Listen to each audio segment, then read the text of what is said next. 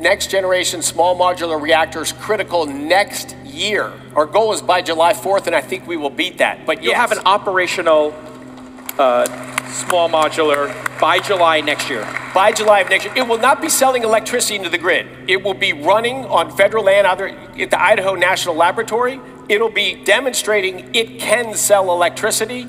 It will be permitted by DOE, but we're working hand in hand, hand with NRC as well. So we will see commercial reactors break ground, um, actually many before then. But nuclear is going to move at a faster pace than it has before. But back What you just watched is Energy Secretary Chris Wright during his interview at the All In Summit last weekend. This was just a little one minute clip where I think he let it slip that Oklo is actually going to have their first small nuclear reactor online and operational by July 4th, 2026. Why is this so important? Because if you take a look at this slide from one of my recent earnings deep dives into Oklo, they aren't expecting this facility to come online until 2027, 2028. And I thought these timelines were a little quick myself. If you know the history of how hard it is to get these things online and get going, they always take longer than usual. Well, the exact opposite has just been stated. We now know that this thing is going to be operational in 2026, which is huge news that I think the market hasn't caught on to yet.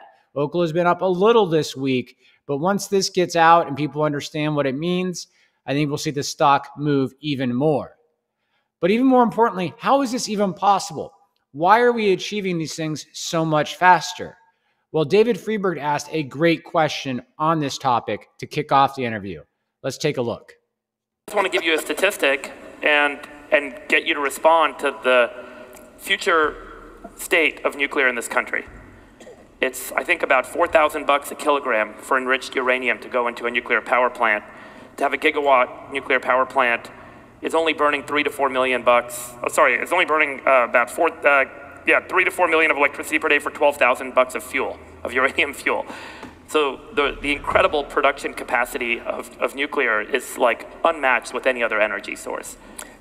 Why does it take so long, and why does it then cost billions of dollars? And you know, for when, you, when I can turn 12,000 bucks of fuel into $4 million of electricity, what's going on in the structural challenges with scalability of nuclear, particularly in the United States? And um, why is it not a real path to kind of scalable energy production in this country for us right now?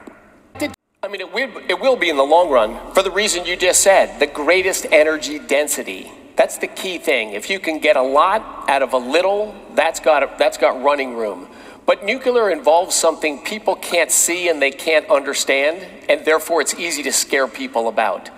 So, nuclear really has been a victim of fear in our world. It's the safest form of energy production we've ever seen for amount of energy it's produced and the amount of negative impacts. But people think it's the scariest and the most dangerous.